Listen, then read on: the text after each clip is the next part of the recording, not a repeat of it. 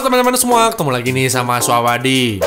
Pasti kalian pernah kan guys menemukan barang-barang aneh ketika kalian sedang berjalan. Tapi rasa penasaran kalian kayaknya harus ditahan karena beberapa barang yang ada di jalanan tersebut bisa saja merupakan barang-barang yang berbahaya. Karena zaman sekarang ini banyak sekali orang jahat yang bisa dibilang tidak memiliki rasa kemanusiaan guys. Nah, kali ini kita mau kasih tahu kalian 6 benda asing yang tidak terlihat membahayakan di jalanan tetapi sangat dilarang untuk kalian ambil.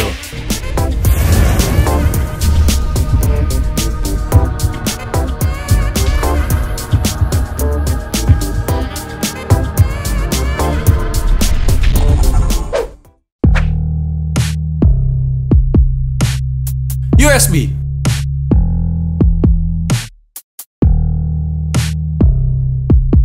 Biasanya USB digunakan untuk menyimpan pekerjaan dari komputer atau laptop supaya bisa dibawa-bawa kan guys. Tapi ternyata ada USB yang dinampakkan USB killer yang akan mengeluarkan listrik 240 volt sehingga membuat komputer atau laptop kalian jadi konslet bahkan meledak. Beberapa orang melaporkan kalau mereka menemukan USB sejenis ini di jalanan. Kalau kalian menemukan barang ini di jalanan, jangan pernah coba-coba untuk mencolokannya ya guys. Lebih baik kalian menelpon polisi dan menyerahkan barang itu.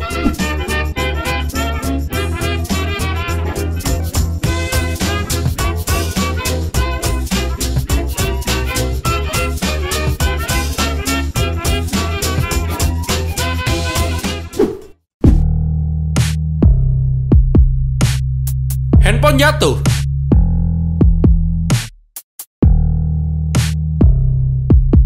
Kalau nemuin HP terjatuh di jalanan, pastinya kalian bakal ngambil kan guys? Entah niat kalian baik atau buruk, tapi sebaiknya jangan langsung diambil deh.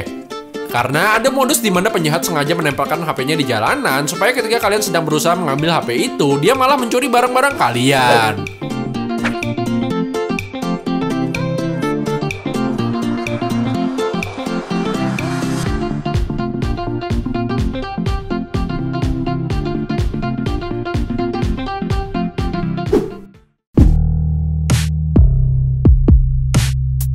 Minuman bersoda.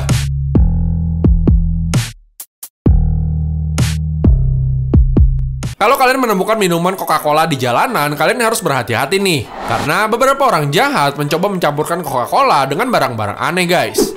Ketika dicampurkan dengan benda lain seperti mentos, sesuatu yang tadinya bisa dikonsumsi manusia, malah bisa merenggut nyawa manusia tuh, guys. Jadi jangan pernah sembarangan ngambil aja ya.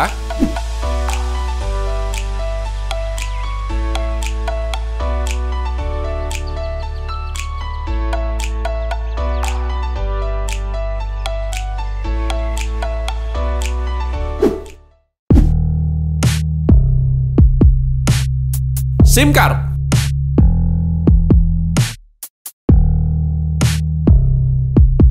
SIM card menyimpan data-data penting yang ada di dalam HP kita. Rasanya agak aneh ketika SIM card bisa tergeletak di jalanan begitu saja. Makanya kalau kalian menemukan SIM card di jalanan, lebih baik kalian hancurkan saja karena itu bisa saja mengambil data-data pribadi kalian jika kalian masukkan ke dalam HP kalian.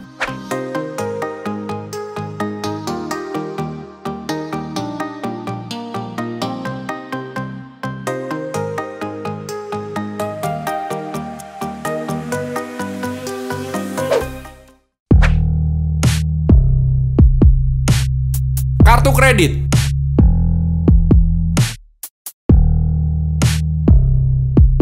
Punya kartu kredit itu enak ya guys. Mau beli tinggal gesek aja tanpa harus punya uang terlebih dahulu. Apalagi kalau kartu kreditnya nemu di jalanan.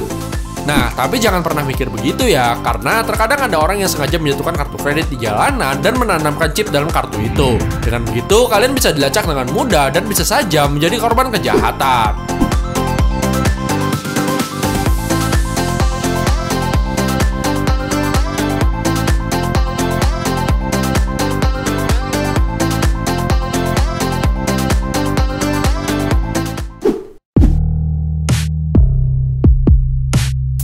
Dompet atau uang?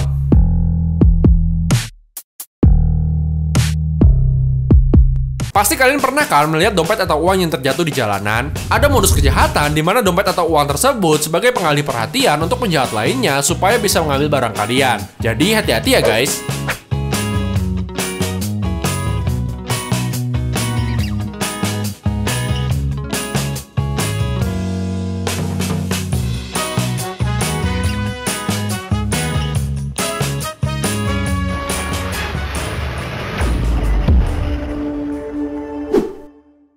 Nah, barusan kalian melihat 6 benda asing yang tidak terlihat membahayakan di jalanan tetapi sangat dilarang untuk kalian ambil menurut mahasiswa abadi.